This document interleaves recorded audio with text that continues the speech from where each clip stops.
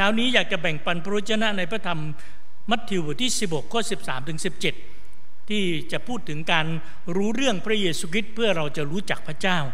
ในพระธรรมมาระโกบทเอ้ยโทษมัทธิวบทที่ 16 บอกว่าครั้นพระเยซูเสด็จเข้าไปในเมืองซีซาริยาฟิลิปปี จึงตรัสถามพวกสาวกของพระองค์ว่า คนทั้งหลายพูดกันว่าบุตรมนุษย์เป็นผู้ใด เขาจึงทูลตอบว่าเขาว่าเขาว่าเป็นยอนผู้ให้ บัพติศมา แต่บางคนว่าเป็นเอริยา และคนอื่นก็ว่าเป็นเยเรมีหรือเป็นคนหนึ่งในผู้เผยชนะ พระองค์ตรัสถามเขาว่า แล้วพวกท่านเล่าว่าเราเป็นใครซีโมนเปโตรจึงตอบว่า พระองค์ทรงเป็นพระคิดพระบุตรของพระเจ้าผู้ทรงพระชนอยู่ พระเยซูจึงตรัสกับเขาว่า ซีโมนบุตรโยนาเอ๋ยท่านก็เป็นสุข เพราะว่ามนุษย์ไม่ได้แจ้งความนี้แก่ท่าน แต่พระบิดาของเราผู้ทรงสถิตในสวรรค์ทรงแจ้งให้ท่านทราบ ให้เราที่ฐานด้วยกันอีกครั้งหนึ่ง พระเจ้าพระบิดาขอทรงโปรดให้การเปิดเผยสำแดงจากพระวิญญาณสุดมาถึงเราทั้งหลายผ่านพระวจนะตอนนี้ เพื่อเราทุกคนที่เป็นผู้เชื่อเป็นลูกของพระองค์แล้ว จะรู้จักพระองค์ผ่านการรู้เรื่องในสิ่งที่พระองค์สำแดงเปิดเผยผ่านพระวจนะ และรู้จักพระองค์โดยการมีประสบการณ์จริงในสิ่งที่พระองค์เป็นตามพระวจนะนั้นด้วย และขอโปรดเมตตาที่จะเปิดตาใจของคนมากมายที่ยังไม่รู้จักพระองค์ที่ได้ยินได้ฟังพระคำของพระองค์ ให้หูเหล่านั้นได้รับการสัมผัสจากพระเจ้า และจิตใจของคนเหล่านั้นจะถูกเปิดออก และรู้จักพระองค์ และเชื่อวางใจพระองค์ และเปิดใจต้อนรับพระองค์เข้ามาในชีวิตของเขาด้วย ขอพระคุณพระเจ้าอยู่เหนือพระพระวจนะที่จะถูกปลดปล่อยออกไป เพื่อไปถึงคนมากมายที่พระเจ้าเลือกไว้แล้ว โดยเฉพาะลูกแห่งสันติสุข ที่คนเหล่านั้นจะถูกนำเข้าสู่อาณาจักรพระเจ้า รับความรอดรับชีวิตใหม่รับชีวิตนิรันดร์เราขออวยพรพี่น้องเหล่านั้นทุกคนที่ได้ยินได้ฟังพระคำพระเจ้าในเช้านี้ ในพระนามพระเยซูเอเมน พี่น้องครับการที่คนใดคนหนึ่งจะรู้จักบางคน ก็สามารถทำได้ โดยการที่จะรู้เรื่องราวต่างๆของเขาผ่านการพูดคุยส่วนตัว หรือผ่านการที่เราหาข้อมูลจากคนรอบข้างเกี่ยวกับตัวเขา หรือบางครั้งก็อาจจะผ่านโซเชียลสิ่งที่เขาโพสต์สิ่งที่เขาเปิดเผยได้สื่อสารไปใน Facebook ต่างๆ เราก็จะรู้จักตัวตนของเขา แต่ว่าเป็นแต่ในความเป็นจริง ก็หลายครั้งสิ่งที่สื่อสารไปมักจะเป็นอะไรที่อาจจะไม่เป็นตัวตนจริงของเขาก็ได้ เหมือนที่หลายครั้งเราสั่งสินค้าเราก็จะพบว่าไม่ตรงปก ก็คือมันไม่เป็นอย่างที่เราได้เห็นในภาพ พอเราไปสัมผัสจริง ๆ เรากลับรู้สึกว่ามันไม่เป็นอย่างนั้น เวลาเราฟังก็พูดรู้สึกมันดี เราเจอก็เพียงแค่ภายนอกฉาบฉวย เรารู้สึกว่าเขาดี แต่เมื่อเราครบกับเขานานๆ รู้จักกับเขาใช้เวลาใกล้ชิดกับเขาเราก็พบว่าอาจจะไม่ได้เป็นอย่างนั้นลหลายคนก็ผิดหวัง หลายคนก็เสียใจ หลายคนก็บาดเจ็บจากการที่เรารู้จักเขาไม่ดีพอ และเมื่อเราเข้าไปสู่ความสัมพันธ์ลึกซึ้ง เรากลับรู้สึกผิดหวังกับสิ่งที่ไม่เป็นอย่างที่เราคาดคิดในตัวของเขานั้นเห็นว่าพระเยซูนั้นพระองค์ตั้งใจที่จะพาสาวกที่จะเดินทางผ่านที่ซีซาริยาฟิลิปปี อันเป็นเมืองชายทะเลเมดิเตอร์เรเนียน ซึ่งเป็นเมืองที่สวยงามมีวิวทิวทัศน์ และที่นั่นไม่ค่อยมีคนยิว เป็นเหมือนที่ส่วนตัว เป็นที่ที่พระองค์จะมีโอกาสคุยกันอย่างเต็มที่กับเหล่าสาวกได้อย่างไม่ต้องกังวล และเมื่อพระองค์อยู่ที่นั่น พระองค์ก็ถามสาวกพระองค์บอกว่า คนมากมายบอกว่าเราเป็นคนนู้นคนนี้ และท่านว่าเราเป็นใคร พระเยซูถามว่าท่านรู้ไหมว่าเราเป็นใคร สาวกก็ตอบว่าพระองค์มีบางคนบอกว่าพระองค์ทรงเป็น ยอนบัพติโต มีบางคนบอกว่าพระองค์ทรงเป็นเอริยา มีบางคนบอกว่าพระองค์ทรงเป็นเยเรมี มีบางคนบอกว่าพระองค์เป็นผู้ชนะคนหนึ่ง สาพระเยซูไม่ได้สนใจมากนักว่าใครจะมองพระองค์ว่าอย่างไร ใครจะคิดว่าพระองค์เป็นใคร นั่นไม่ได้สำคัญมากนักสำหรับความรู้สึกของพระองค์ แต่สิ่งที่พระองค์สนใจและก็ คาดหวังที่สุดก็คือสาวกของพระองค์ที่ถูกเรียกมา รับการสร้างเพื่อเป็นผู้รับใช้พระองค์ในอนาคต ที่พระองค์จะมอบฝากพระมหาบัญชาพันธกิจให้กับเขา คนเหล่านี้จำเป็นที่จะต้องรู้จักพระองค์ โดยการรู้เรื่องของพระองค์อย่างถูกต้อง พระเยซูจึงถามเขายิงคำถามว่าแล้วท่านละ่ะว่าเราเป็นใคร คนทั่วไปบอกว่าเราเป็นยอนบัพติโตก็คือคนที่ให้บัพติศมา ให้คนเข้าสู่แผ่นดินพระเจ้า คนที่เทศเรื่องแผ่นดินพระเจ้า คนที่เรียกคนให้กลับใจจากบาป และกลับมาอยู่กับพระเจ้าและอยู่ในแผ่นดินพระเจ้า และพระเยซูก็ดูเหมือนทำอย่างนี้เหมือนกัน และหลายคนอยู่ว่าพระเยซูคือยอนบัพติสโต และก็บางคนว่าพระเยซูเป็นเอริยา เพราะว่าอะไรเพราะพระเจ้าสัญญาว่าเอริยาจะมาภายหลังอีกครั้งหนึ่ง จะมาทำให้พ่อลูกคืนดีกันทำให้ทุกอย่างกลับสู่สภาพเดิมสภาพดีตามน้ำพระทัยพระเจ้า พระเยซูเองก็เป็นคนที่ทำให้เกิดความเป็นคืนดีกันระหว่างมนุษย์กับพระเจ้าหรือคืนดีกันในสังคม และพระเยซูก็ทำการอัศจรรย์เหมือนเอริยาขอฝนขอไฟ เอริยาก็มีฤทธิเดชพระเยซูก็มีฤทธิเดชโอ้พระเยซูน่าจะเป็นเอริยา แต่บางคนบอกว่าพระเยซูน่าจะเป็นเยเรมีมากกว่า เพราะเยเรมีนั้นเป็นนักเทศเจ้าน้ำตา มาเทศนาที่กับคนอิสราเอลญาติพี่น้องว่าหลายคนก็ปฏิเสธไม่ยอมรับ และหลายคนก็ต่อต้านพระองค์ และพระองค์ก็รู้สึกเสียผิดหวังเสียใจ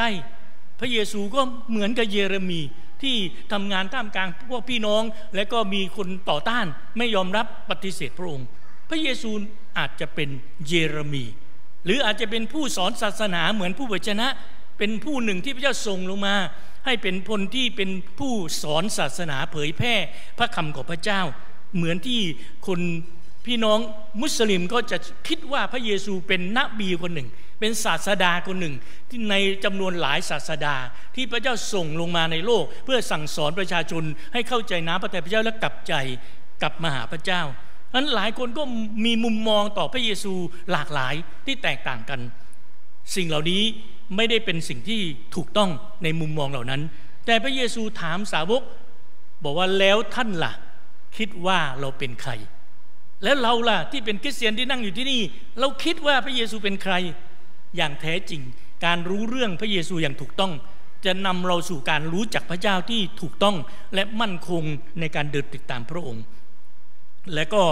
ไม่มีใครกล้าพูด ไม่มีใครกล้าตอบ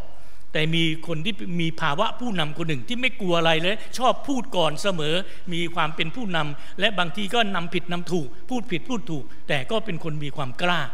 ก็คือเปโตรเปโตรก็ตอบขึ้นมาทันทีบอกว่า พระองค์คือพระคิดพระบุตรของพระเจ้า พระเยซูถูกต้องพระเยซูก็ตอบทันทีว่าถูกต้อง แต่ไม่ได้ทำให้ แต่พระเยซูก็ไม่ได้ทำให้เปโตรเหลิง ลืมตัวคิดว่าโอ้ข้าเก่งข้าแน่ข้ารู้ มากกว่าคนอื่นข้ามีปัญญาสูงในท่ามกลางหมู่สาวก พระเยซูว่าที่เจ้ารู้เนี่ยไม่ใช่เพราะเจ้ารู้เองด้วยปัญญาของเจ้า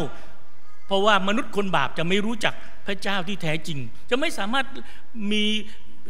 การสำแดงที่เปิดเผยจากพระเจ้า โดยปัญญาของมนุษย์จะไม่สามารถเข้าถึงความลับลึกของสวรรค์ของพระเจ้า ดังนั้นโดยปัญญาของมนุษย์ ก็เหมือนคนทั่วไปที่ไม่รู้ว่าพระเยซูเป็นใคร แม้พระองค์อยู่ท่ามกลางพวกเขาทำสิ่งต่างๆ มากมาย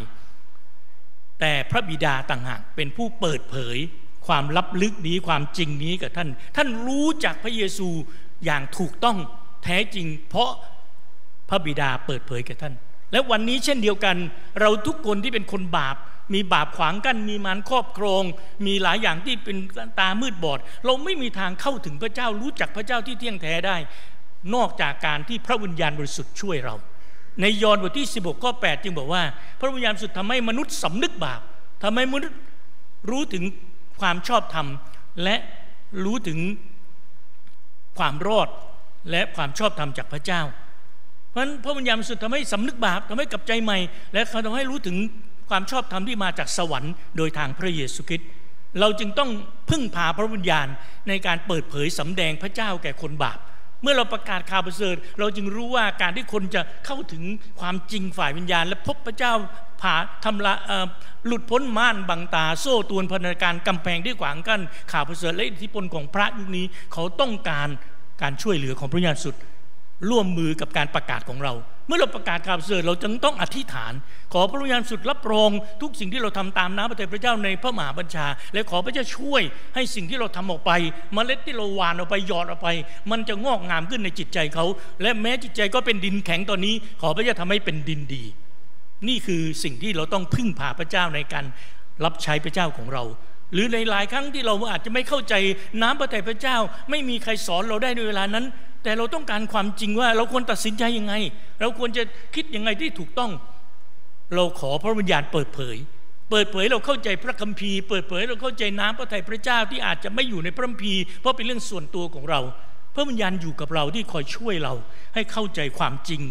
ของพระเจ้า ให้เข้าใจน้ำพระทัยพระเจ้า และสิ่งที่พระเยซูปรารถนาจะให้เรารู้เข้าใจ มีหลายครั้งพระเยซูบอกว่า วันนี้ท่านยังไม่เข้าใจหลายเรื่อง ที่เราพูดกับเจ้าสอนเจ้า แต่วันหนึ่งเมื่อพระวิญญาณมาแล้ว อยู่กับท่านแล้ว พระองค์จะให้ท่านเข้าใจทุกสิ่งที่เราได้เคยสอนเอาไว้ พระวิญญาณจะนำมาถึงการเปิดเผยสำแดงในสิ่งลับลึกของพระเจ้าแม้น้ำพระทัยมีสิ่งมากมายที่พระบิดาได้จัดเตรียมให้เราก็เกินกว่าสิ่งที่ตามองเห็นหูไม่ได้ยินสิ่งที่สมองคิดไม่ถึงสำหรับคนที่รักพระเจ้าพระเจ้าเตรียมสิ่งเหล่านี้ แต่เราจะรู้ได้ไง พระเจ้าเตรียมสิ่งดีแบบนี้ที่เรายังไม่เห็นไม่รู้ไม่ได้ยิน ก็โดยการสำแดงของพระวิญญาณบริสุทธิ์อันพระวิญญาณบริสุทธิ์สำคัญมากในการดำเนินชีวิตของเรา ในการเปิดเผยหลายหลายอย่างที่เป็นสิ่งล้ำลึกของพระเจ้า พระเยซูจึงบอกเปโตรว่าที่เจ้ารู้ไม่ใช่เพราะเจ้ามีสติปัญญาและเข้าใจด้วยสมองของตัวเอง แต่เพราะพระบิดาเปิดเผย เวลานั้นพระวิญญาณบริสุทธิ์ยังไม่มาสถิตกับทุกๆคนจึงเป็นงานของพระบิดาที่ทรงกระทำแต่เมื่อวันนี้พระวิญญาณบริสุทธิ์มาอยู่กับเราแล้ว คนที่สำแดงเปิดเผยให้เราเข้าใจทุกอย่างก็คือพระวิญญาณบริสุทธิ์ แม้การเข้าใจพระคัมภีร์ หรือการเข้าใจความลับลึกน้ำพระทัยพระเจ้าที่ซ่อนอยู่ หรือการจัดเตรียมที่เรามองไม่เห็นด้วยตาที่พระบิดาจัดให้กับเรา เราจะรับรู้สิ่งนั้นโดยทางพระวิญญาณบริสุทธิ์ และมากกว่านั้นพระเยซูว่าท่านก็เป็นสุข ก็คือใครก็ตามที่ได้รู้เรื่องพระเยซูอย่างถูกต้อง และก็รู้ว่าพระองค์เป็นใครจริง ๆ เขาจะมีความสุขมาก เพราะว่าเขารู้ว่าคนที่อยู่กับเขาที่เขาเชื่อที่เขาศรัทธานั้น คือพระเจ้า และคือพระผู้ช่วยให้รอด ถ้าเรารู้อย่างนี้ว่า พระเยซูที่เราเชื่อที่เราต้อนรับนั้น คือคนที่ช่วยเราให้รอดพ้นบาปทุกอย่าง เริ่มต้นชีวิตใหม่อย่างสดใสกับพระองค์และเรารู้ว่าพระองค์เป็นพระเจ้าด้วย ยิ่งใหญ่มีฤทธิ์อำนาจ และมาสถิตกับเรา เราไม่ต้องไปวิ่งหาซื้อพระองค์ที่มนุษย์สร้างขึ้นมา แล้วก็อุปโลกเป็นพระเจ้า แต่พระองค์เป็นพระเจ้าที่ไม่ได้มีมนุษย์สร้างแต่สร้างมนุษย์ต่างหาก และพระองค์ผู้สร้างที่ยิ่งใหญ่อยู่กับเรา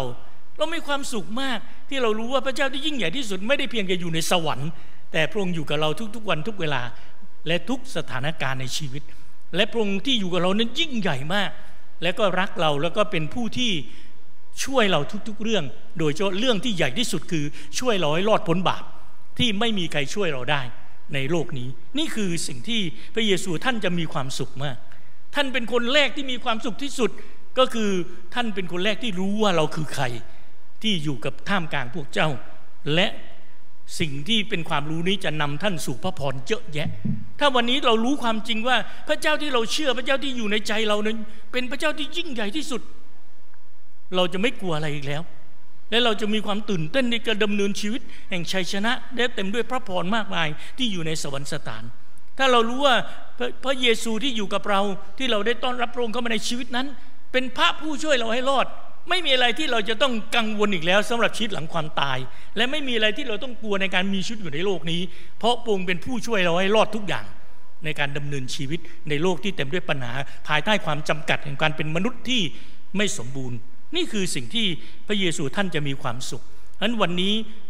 ความจริงนี้ได้ถูกเปิดเผยกับเรา และกับคนมากมายที่จะได้ยินได้ฟังเสียงของพระเจ้า สิ่งที่พระองค์อยากจะบอกคนทั้งประเทศไทย บอกคนทั้งโลกให้รู้ว่าพระเยซูเป็นใครกันแน่ และการที่เรารู้จักพระเยซูคริสต์อย่างถูกต้อง เราก็จะรู้จักพระเจ้าที่ยิ่งใหญ่ที่อยู่ในชีวิตของเรา และกำลังขับเคลื่อนชีวิตเราไปตามแผนการของพระองค์มีสองสิ่งที่เปโตรตอบ และพระเยซูว่าถูกต้อง ไม่เพียงแต่ถูกต้องมันถูกใจพระเยซูมากเลย พระเยซูรู้สึกว่าหาคำตอบเป็นวิจากใครก็ยังไม่ได้ มีแต่ตอบว่าเป็นเยเรมีเป็นนู่นเป็นนี่ ทุกคำตอบดูดีแต่ไม่ไม่ถูก แต่คำตอบที่เปโตรตอบออกมาเนี่ยพระเยซูโหมันมันถูกต้องเลยมันชัดใช่เลยและพระเยซูก็คุณจะมีความสุขอย่างมาก เมื่อคุณได้รู้ความจริงนี้ในการดำเนินชุดกับพระองค์ และติดตามพระองค์รับใช้พระองค์ และก็บอกความจริงนี้แก่คนอีกมากมายที่ยังต้องการพระองค์และแสวงหาพระองค์อยู่ พระเยซูเป็นสองสิ่ง ในสิ่งที่เปโตรตอบ สิ่งแรกคือเป็นพระบุตรของพระเจ้า ซึ่งก็คือการเป็นพระเจ้า พระบุตรของพระเจ้าก็คือพระเจ้า แต่พระเยซูไม่อยากที่พูดสิ่งนี้พระองค์จึงเรียกตัวเองว่าบุตรมนุษย์ บุตรของพระเจ้าที่เกิดมาเป็นมนุษย์ แต่จริง ๆ พระองค์คือพระบุตรของพระเจ้าก็คือพระเจ้าที่ลงมาเกิดในสภาพของมนุษย์มีพระพีมากมายที่ยืนยันความเป็นพระเจ้าของพระเยซู ที่ทำให้เรารู้ อย่างเช่นในพระธรรมยอห์นบทที่หนึ่งก็บอกว่า เพราะพระวาทะทรงเป็นพระเจ้า พระวาทะนั้นอยู่ก่อนที่จะมีโลกอยู่กับพระบิดาและร่วมกันสร้างโลก พระเยซูคือพระวาทะที่ลงมาเกิดเป็นมนุษย์ เพราะฉะนั้นพระเยซูนั้นเป็นพระเจ้าและอยู่กับพระบิดาพระวิญญาณบริสุทธิ์และร่วมกันสร้างโลกใบนี้ด้วยกัน นั่นคือสิ่งแรก อาจารย์เปาโลก็พูดในฟิลิปปีในฟิลิปปีบทที่สองข้อหกบอกว่า พระเยซูผู้ทรงสภาพของพระเจ้า แต่ยอมถ่อมใจลงมาบังเกิดเป็นมนุษย์ และก็เกิดและก็เชื่อฟังจนถึงความมรณากระทั่งความมรณาที่ไม้กางเขน พระองค์ผู้ทรงสภาพของพระเจ้าแต่ไม่ได้ทรงถือว่าการเท่าเทียมกับพระเจ้านั้นเป็นสิ่งที่ต้องยึดถือ แต่ได้ทรงสละ และทรงรับสภาพธาตุทรงถือกำเนิดกันเป็นมนุษย์ และเมื่อทรงปรากฏพระองค์ในสภาพมนุษย์แล้ว พระองค์ทรงทอม พระองค์ลงยอมเชื่อฟังจนถึงความมรณากระทั่งมรณาที่กางเขนและพระเจ้าก็ยกพระเยซูขึ้น หลังจากที่พระองค์สำเร็จภารกิจในการตายบนวิงเข็นไถ่บาปเรา ที่ทุกหัวเข่าในโลกและในสวรรค์จะต้องคุกกาบต่อพระเยซูคริสต์นี่คือสิ่งที่เราได้เห็นถึงการเป็นพระเจ้า เมื่อผมเริ่มเรียนพระคัมภีร์ ผมก็ไปเรียนวิชาหนึ่งวิชาที่บอกว่าวิชาการพิสูจน์หลักการความจริงในฝ่ายวิญญาณที่สำคัญเป็นบทเป็นหลักพิสูจน์น่าจะเป็นใช้คำว่า apology หรือเปล่า แล้วก็บอกว่ามีหลักพิสูจน์สี่เรื่องที่มีการใช้หลักฐานต่างๆ มาพิสูจน์ สิ่งที่หนึ่งคือพระเจ้ามีจริงหรือ เราต้องเรียนเรื่องนี้ ราะเรื่องนี้มันเป็นเรื่องที่สำคัญที่เราจะไปประกาศเรื่องพระเจ้าที่มองไม่เห็นด้วยตา ให้คนบาปทั้งหลายในโลกนี้ที่จะรู้จักพระเจ้า เพราะฉะนั้นคิดเตียนทุกคนผู้รับใช้ทุกคนที่ออกไปประกาศข่าวเสด็จต้องเรียนรู้ว่าพระเจ้ามีจริงหรือเพราะก็จะถามคุณว่าพระเจ้ามีจริงหรือคุณต้องตอบได้มีเหตุมีผลมากมาย ที่บอกว่าพระเจ้ามีจริง อันที่สองพระวจนะของพระเจ้าเป็นพระคำของพระเจ้าจริง หรือพระคัมภีร์คริสเตียนเป็นพระคำของพระเจ้าจริงหรือ มันต้องมีบทพิสูจน์ ไม่งั้นคุณจะไปสอนเขาอ้าวมันก็เขียนเอง มนุษย์เขียนมันจะเชื่อถือได้ยังไง เพราะฉะนั้นเราจะต้องสามารถตอบได้ว่า พระคัมภีร์ที่เราใช้อยู่สอนอยู่หรือเชื่ออยู่นั้น เป็นพระคำพระเจ้าจริง ๆ อันที่สามที่เราต้องเรียนรู้แล้วก็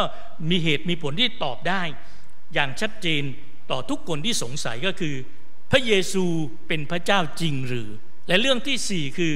พระเยซูฟื้นจากความตายจริงหรืออันนี้คือสี่เรื่องที่สำคัญนอกจากนั้จะมีเรื่องอื่นๆเล็ก ๆ น้อยๆที่เราจะต้องเรียนเพื่อให้รู้ว่ามันมีเหตุผลอะไรอยู่เบื้องหลังที่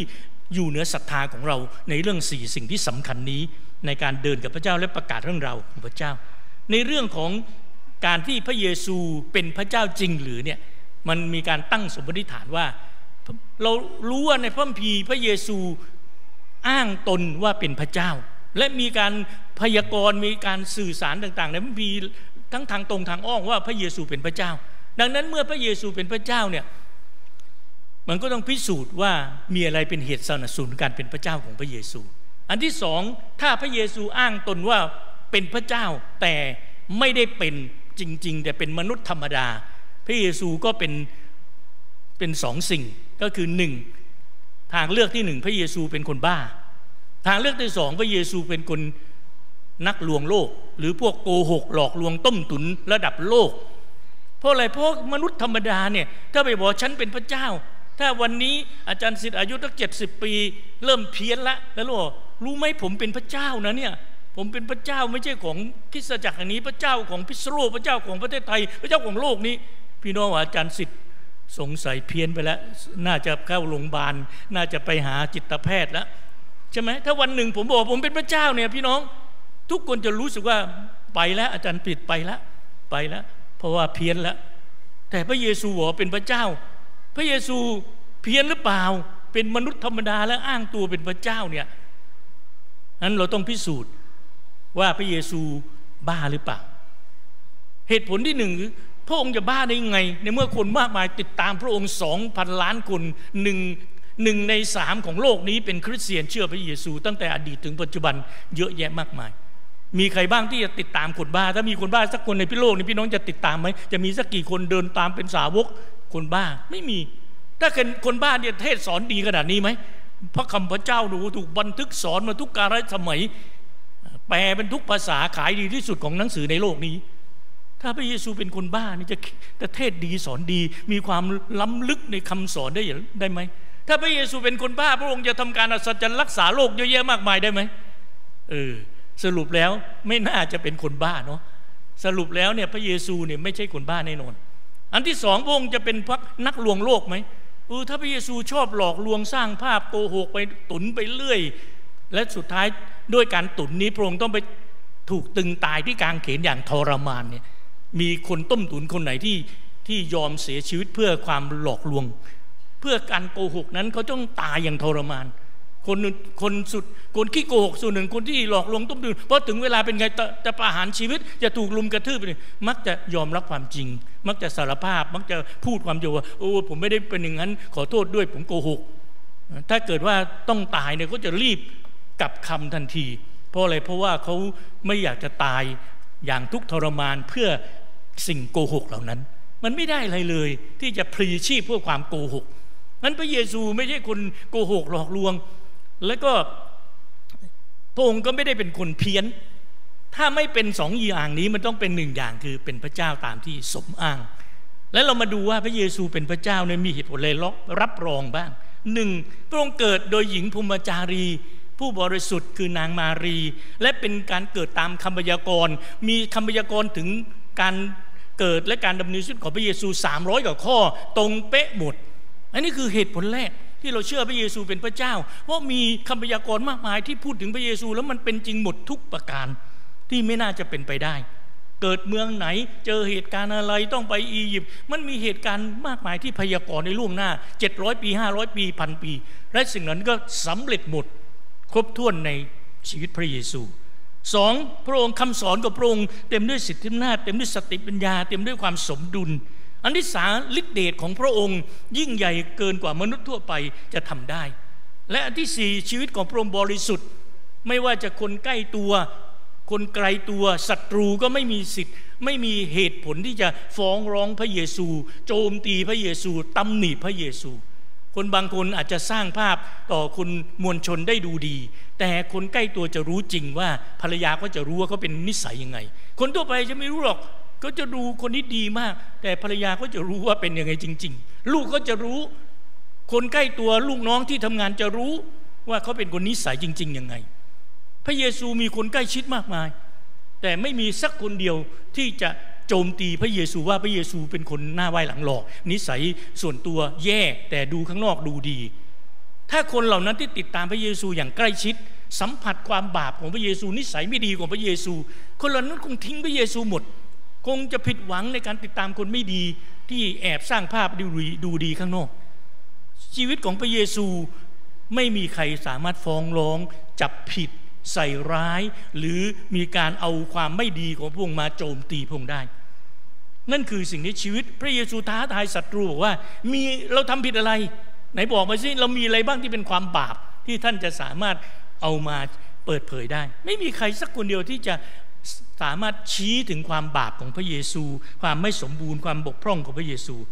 และสิ่งที่สำคัญคืออะไรพระเยซูตายและฟื้นจากความตายอันนี้แหละคือสำคัญที่สุดเลย ในการยืนยันถึงความเป็นพระเจ้าของพระเยซู เพราะว่ามนุษย์ที่เก่งที่สุด สอนดีที่สุด มีผู้เก่งศรัทธามากที่สุดของคน แต่คนเหล่านั้นไม่ว่าจะเป็นศาสดาของความเชื่อใดเขาก็ตาย แล้วเขาก็จบทุกอย่างที่ความตาย ไม่มีศาสดาใดในโลกนี้ที่ฟื้นขึ้นมา และทำการอัศจรรย์แล้วก็เคลื่อนไหวอยู่ท่ามกลางผู้เชื่อมากมายในโลกนี้เหมือนพระเยซูคริสต์พระเยซูเป็นผู้เดียวที่ตายและฟื้น แล้วก็ยังทรงพระชนอยู่และสถิตกับผู้เชื่อทั่วโลกนี้ และทำการอัศจรรย์ตอบคำวิฐานคนมากมาย นี่แหละคือเหตุผลแห่งความเป็นพระเจ้าของพระเยซูคริสต์ดังนั้นเราคนผู้ที่เชื่อพระเยซูคริสต์เราไม่ได้เชื่อศาสดา เราไม่ได้เชื่อมนุษย์ ธรรมดา แต่เราได้มาเชื่อพระเยซูคริสต์ที่เป็นพระเจ้า และมีชีวิตเดินอยู่กับพระเจ้า และพระองค์ผู้เป็นพระเจ้าสถิตอยู่กับเรา เป็นที่พึ่งเป็นคำตอบ สิ่งที่สองที่เปโตรตอบพระเยซู และพระเยซูถูกต้องก็คือเขาตอบว่าพระเยซูคือ พระคิดพระคิดคำว่าพระคิดในภาษาฮิบรูก็คือพระเมสสิยา ในภาษากรีกคือคำว่าพระคิด ซึ่งแปลว่าผู้ที่พระเจ้าเจิมให้มาช่วยกู้มนุษย์ให้ได้รับความรอด เราพบว่าเมื่อพระเจ้าทรงเริ่มแผนการในความรอด โดยผ่านพระเยซูนั้น พระเจ้าได้ทรงให้พระเยซูบังเกิดในคันของนางมารี ที่เป็นหญิงสาวบริสุทธิ์พระพีบอกว่ามีทูตสวรรค์มาหานางมารีและบอกถึงสิ่งที่พระเจ้าจะทำในตัวเธอเพื่อให้กำเนิดพระเยซู และพระองค์ก็มาหาโยเซฟ เพื่อเคลียร์ความคิดของโยเซฟที่จะเข้าใจว่านางมารีไม่ได้มีพฤติกรรมไม่ดีจนท้อง โดยไม่มีพ่อไม่ใช่ฉะนั้นเราเห็นว่าในเหตุการณ์เหล่านั้น ทูตสวรรค์ก็ดี พระเจ้าก็ได้สื่อสารบอกว่า ผู้ที่จะมาบังเกิดในคันของเธอ คือพระผู้ช่วยให้รอด คือผู้ช่วยโลกนี้ให้รอดตามแผนการพระเจ้าที่กำหนดไว้ตั้งแต่นานยาวนานมาแล้ว และมากกว่านั้นเราพบว่าเมื่อพระเยซูเกิด พระเจ้าก็ให้ทูตสวรรค์มาร้องเพลงปรากฏให้คนเลี้ยงแกะ ได้รับรู้และพระองค์ก็บอกว่าวันนี้เป็นวันดีเป็นข่าวดี เพราะพระผู้ช่วยรอดจะมาจากสวรรค์มาเกิดในโลกนี้เพื่อช่วยมนุษย์ทุกคน วันนี้คือวันแห่งข่าวดี ข่าวดีที่สวรรค์ได้โปรดโลกนี้ สวรรค์ได้ส่งพระเยซูมาเกิดในโลกนี้เพื่อไถ่บาปเราทุกคน และโลกจะมีสันติสุข และหลุดพ้นเวรกรรมเคาะกรรมและความบาปและการพิพากษา นี่คือสิ่งที่เราเห็นว่า พระเยซูจึงเป็นพระผู้ช่วยให้รอดของเรา และเป็นพระเจ้าที่ยิ่งใหญ่ที่สุดด้วย และลงมาช่วยเราให้รอดพ้นบาป เพื่อเราจะเริ่มต้นชีวิตใหม่ และเต็มด้วยสันติสุขและพระพรไม่อยู่ใต้คำแจ้งสาบหรือการพิพากษาในบึงไฟนรกอีกต่อไป พระเยซูทรงเป็นสองสิ่งนี้ในพระกำหนดของพระเจ้า และในการสำแดงของพระบิดาต่อ ความเข้าใจของเปโตรและสาวก ที่จะเข้าใจและก็รับใช้พระเจ้าด้วยความเข้าใจที่ถูกต้องนี้ เราต้องรับใช้พระเจ้าประกาศเรื่องราวพระเจ้าอย่างถูกต้อง ให้คนรู้ว่าพระเยซูคือพระเจ้าที่มนุษย์แสวงหาทั่วโลก คนมากมายอยากมีพระมีเจ้า วิ่งเข้าไปหาเพื่อจะพึ่งพา และไม่มีใครที่เป็นพระเจ้า และไม่มีวัตถุใดที่จะถูกยกขึ้นเป็นพระเจ้า ทุกสิ่งที่ถูกสร้างจะอยู่ใต้อำนาจผู้สร้าง และผู้ที่สร้างที่ยิ่งใหญ่ที่สุด และสร้างทุกสิ่งคือคือพระเยซูคริสต์ที่ร่วมสร้างกับพระบิดาและพระวิญญาณบริสุทธิ์นั้นพระเยซูคือพระเจ้าที่เราทุกคนต้องการแสวงหาและอยากจะพึ่งพาและก็มีพระองค์ในชีวิตของเรา และไม่เพียงแค่นั้น พระองค์ไม่เพียงแต่เป็นพระเจ้าที่ยิ่งใหญ่ศักดิ์สิทธิ์ แต่พระองค์เป็นพระผู้ช่วยให้รอด เป็นผู้ที่มาช่วยเรา ให้รอดจากบาปเวรกรรมข้อกรรม และรอดจากทุกปัญหาในในชีวิตของเราพระองค์เป็นความช่วยเหลือที่พร้อมอยู่ในยามยากลำบากที่อยู่ใกล้เราที่สุด ไม่เพียงแต่พระองค์พร้อม แต่พระองค์อยู่ใกล้ที่จะสามารถเข้ามาช่วยชีวิตของเราในทุกมิติ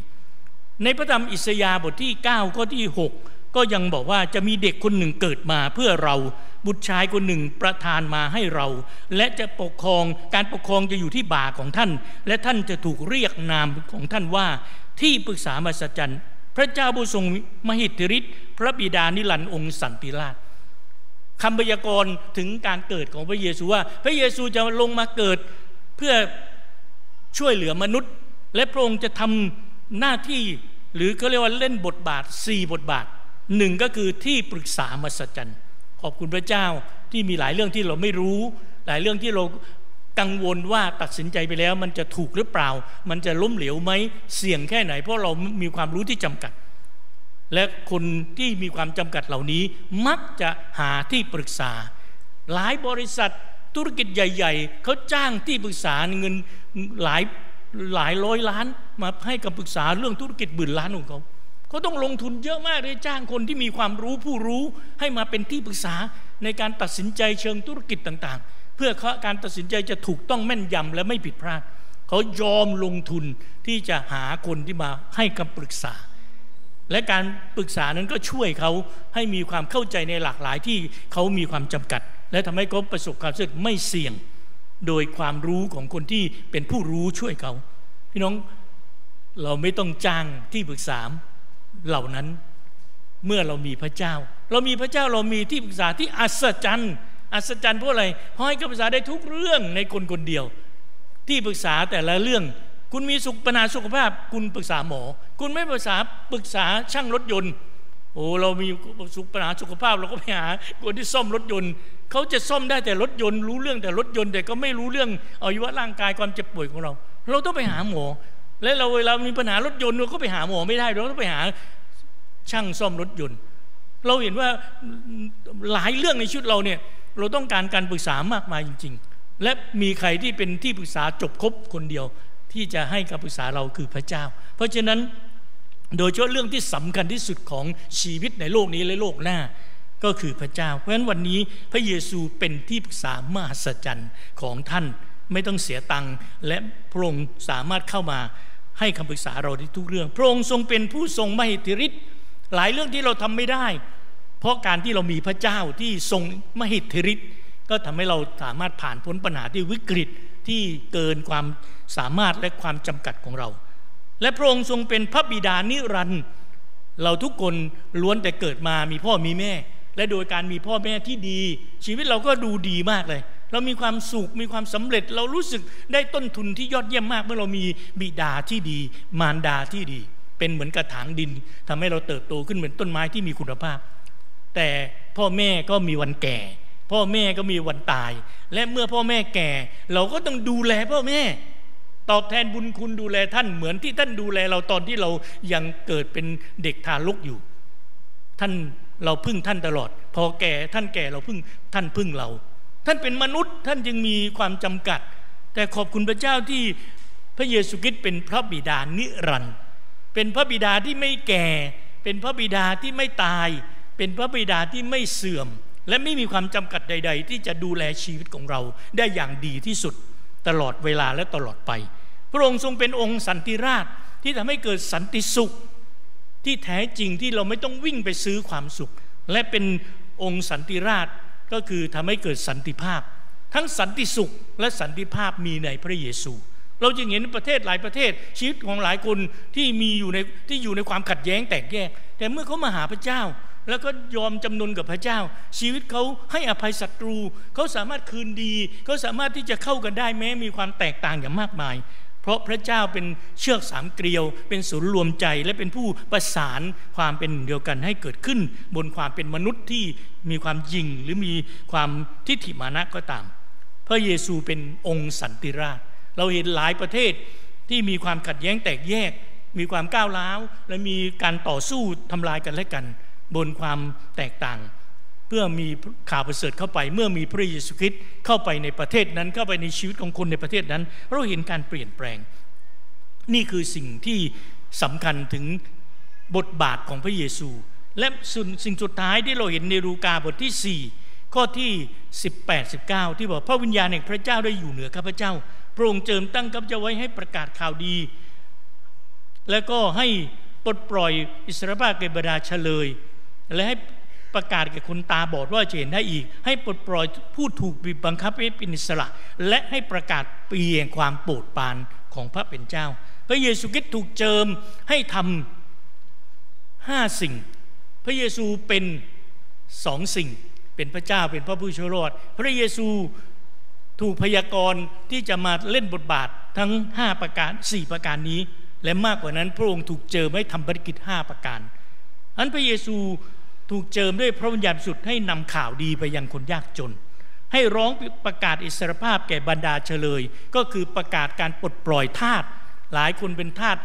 ยาเสพติด เป็นทาสของบุหรี่สุราเป็นทาสเรื่องเพศ เป็นทาสหลายหลายอย่าง พระเจ้าบอกว่าพระองค์จะประกาศปลดปล่อยเฉลยให้เป็นไทย เราเห็นข่าวประเสริฐของพระเจ้าไปที่เรือนจำโดยผ่านผู้รับใช้หลายคนไปประกาศที่นั่น หลายคนกลับใจที่เรือนจำแล้วก็ กับตัวเปลี่ยนแปลงชีวิตออกมาเป็นพลเมืองดี จนกระทั่งหลายเรือนจำก็เปิดออกให้คริสเตียนก็ไปทำภารกิจ เพราะรู้สึกว่านักโทษที่เชื่อพระเยซูนั้นมีคุณภาพชีวิต มีความเชื่อฟังสูงปกครองง่าย ไม่ก่อปัญหาวุ่นวายในเรือนจำเขารู้สึกว่าเขาสัมผัสเมื่อมันนักโทษเหล่านี้ที่อยู่ในที่เดียวกัน แต่เมื่อเขาเชื่อพระเจ้าจะมีการเปลี่ยนแปลงที่แตกต่าง จากคนกลุ่มเดิมหรือชีวิตเดิมของเขา เขาจึงรู้สึกว่าพระเยซูเป็นคำตอบ พระเยซูเป็นคำตอบที่จะทำให้คนเปลี่ยนแปลงนิสัย เปลี่ยนแปลงชีวิต และมีความเป็นมีวิถีชีวิตที่ดีขึ้นนั่นเห็นว่าพระเยซูไปปลดปล่อยพันธนาการในจิตใจเขา และก็ทำให้เขามีอิสรภาพเสรีภาพในการดำเนินชีวิตที่ไม่อยู่ใต้บาปและกิเลสต่อไปพระองค์ปลดปล่อยผู้ถูกบีบบังคับ วันนี้หลายคนจะซึมเศร้าเครียด มีปัญหาบีบคั้นเรา สมองเราจะแตกจิตใจเราแย่แล้วเราจะแตกสลายกับปัญหาแรงกดดันที่เราแบกไม่ไหวแล้ว วันนี้เข้ามาหาพระเจ้า การฆ่าตัวตายไม่ใช่คำตอบ แต่การมาหาพระเยซูคือคำตอบ และทำให้เราปลดปล่อยและมีชีวิตที่ยิ่งใหญ่ ตื่นเต้นและช่วยคนอีกมากมาย หลังจากนี้เมื่อเราได้พบกับพระเยซูคริสต์อันให้พระเยซูคริสต์เป็นคำตอบของทุกแรงกดดันในชีวิตของเราที่เข้ามาที่เรารู้สึกว่าไม่ไหวแล้ว เรารับไม่ได้แล้ว เราจะไม่สามารถที่เผชิญมันได้แล้ว ให้พระเจ้าเข้ามาเป็นกำลังของเรา เป็นความช่วยเหลือในยามยากลำบาก และไม่เพียงแค่นั้น พระเยซูจะมาประกาศปีแห่งความโปรดปรานแห่งพระเป็นเจ้า ตั้งแต่ปีที่คุณเชื่อพระเจ้า คนยิวเนี่ยรอปีห้าสิบเจ็ดปีจะเป็นปีสบาโตเจ็ดครั้งเจ็ดรอบก็จะเป็นปีที่50ปี 50 เป็นปีแห่งการปลดปล่อยที่ยิ่งใหญ่ ผ่นที่ดินอะไรต่างๆ ที่ถูกขายไปถูกให้เช่าไป ก็จะกลับมาเป็นเจ้าของเดิม สิ่งต่างๆ ที่สูญเสียไปจากชีวิตเราจะถูกนำกลับคืนมาสู่ชีวิตเราอย่างอัศจรรย์ โดยพระคุณพระเจ้าผ่านปีแห่งการปลดปล่อย นั้นปียงความโปรดปรานชีวิตเราจะรับการยกชูขึ้น ชีวิตเราจะรับสิ่งดีๆ จากพระเจ้ากลับคืนมา แม้ซาตานจะเอาสิ่งร้ายๆเข้ามา แล้วก็เอาสิ่งดีออกไปจากชีวิตเรา แต่พระเจ้าจะนำสิ่งดีๆ กลับคืนมา พระองค์จะลื้อพื้นชีวิตเรากลับสู่แผนการดั้งเดิมของพระเจ้านี่คือ ปีที่คุณจะรับการอวยพรจากพระเจ้า ปีแห่งความโปรดปรานคือปีแรกที่คุณเริ่มต้นย่างก้าวมาเชื่อพระเยซูคริสต์ คุณจะรับความโปรดปรานจากพระเจ้า คุณจะเข้าสู่การเป็นลูกพระเจ้า เข้าสู่การเป็นประชากรแผ่นดินสวรรค์ เข้าสู่การเป็นวิหารที่พระเจ้าสถิตอยู่ และคุณจะรับการเจิมใหม่ ในการที่จะเป็นเกลือและแสงสว่างต่อโลกนี้ และการที่เราจะเป็นพันธกรนำคนมากมาย ให้กลับมาคืนดีกับพระเจ้า และเราจะถูกเจิมด้วยการเป็นตัวแทนแห่งสิทธิอำนาจ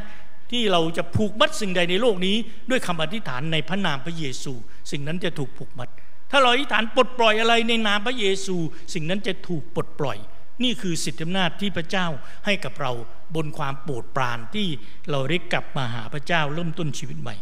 อันวันนี้ผมอยากจะจบคำเทศนานี้ให้เราทุกคนได้คิดถึงผู้ที่อยู่ในเรา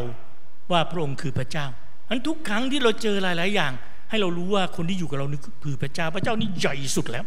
แล้วก็รักเราที่สุดและทำทุกอย่างได้ แล้วก็พร้อมที่จะเข้ามาแทรกแซงทุกเรื่องในชีวิตของเรา เพื่อช่วยเราให้ประสบพระพรและความสำเร็จในการดำเนินชีวิตถวายเกียรติพระองค์และมากกว่านั้น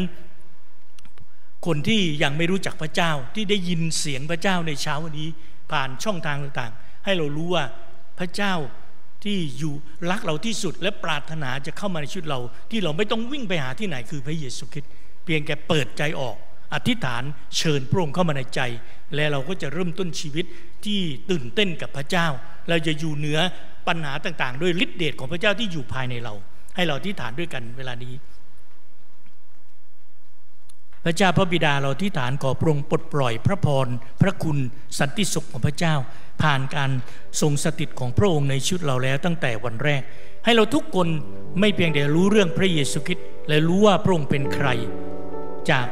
ระวจนะพระเจ้าที่เราได้ยินได้ฟังเช้านี้ แต่ขอพระองค์สมัยเรามีประสบการณ์ที่รู้จักพระเจ้า เหมือนที่พระองค์พาเปโตรยอนยากอบขึ้นภูเขา และได้พบกับพระเยซูในร่างกายใหม่ ในสง่าราศีได้ยินเสียงพระบิดาที่ตรัสจากฟ้าสวรรค์ว่า ผู้นี้เป็นบุตรที่รักของเรา เราพอใจเขามาก เราชอบใจเขามาก และได้มีประสบการณ์ได้เห็น เอริยาโมเสสได้มาสนทนากับพระเยซู แม้คนเหล่านั้นตายไปนานแล้วก็ตาม และได้เห็นเมฆแห่งพระสิริของพระเจ้าปกคลุมอยู่ที่นั่นทำให้ปลอดภัยอบอุ่น ไม่มีอะไรสามารถที่จะรบกวน หรือทำให้เราทุกข์ใจได้ พระเจ้าขอให้เราทั้งหลายมีประสบการณ์กับพระเยซู กับพระเจ้าผู้ทรงพระชนอยู่ที่อยู่กับเรา มากกว่ารู้เรื่อง เรารู้เรื่องพงแล้ววันนี้ ขอพระองค์ให้เรามีประสบการณ์ ขอพระองค์เปิดตาใจของคนมากมายที่ยังไม่รู้จักพระองค์ให้รู้จักพระองค์ด้วยเช้าวันนี้ ด้วยความจริงนี้จะถูกปลดปล่อยไปสู่คนมากมายในประเทศไทย เขาจะต้อนรับพระเยซูผู้เป็นพระเจ้าเข้ามาในชีวิตของเขา เขาจะต้อนรับพระเยซูพระผู้ช่วยให้รอดเข้ามาในจิตใจของเขา แล้วก็จะพบพระองค์เราขอบคุณพระองค์เราสรรเสริญพระองค์ในพระนามพระเยซู เอเมน